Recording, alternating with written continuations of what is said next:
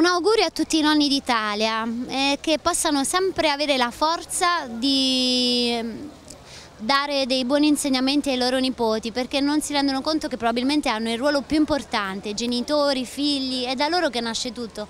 La famiglia è la sorgente dell'amore. Auguri a tutti i nonni d'Italia anche i miei che non ci sono più.